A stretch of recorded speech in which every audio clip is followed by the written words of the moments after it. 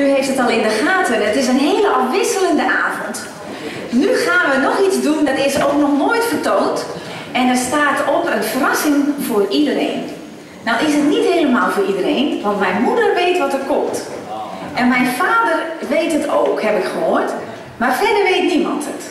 Dat betekent dat zij in die envelop, of ik weet niet wat ze heeft, een, een muziek mee heeft dat wij ook nog nooit gezien hebben.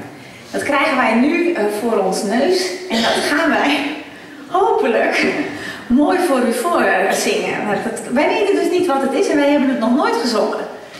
Dus uh, het is heel grappig, want een aantal leden van het koor hebben al wel zitten vissen bij mijn moeder van de week. Wat het ongeveer is en welke taal en welke tijd. Maar ze heeft niks losgelaten, dus uh, nu komt het verlossende woord. Ja, het moest iets vrolijks zijn. Laten we iets vrolijks zingen.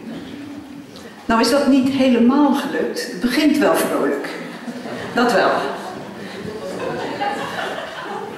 Ja, jullie, jullie vinden het ook spannend natuurlijk. Het begint vrolijk.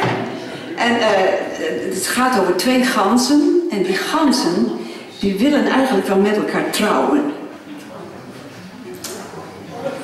Maar uh, dat lukt niet, maar ze blijven wel samen.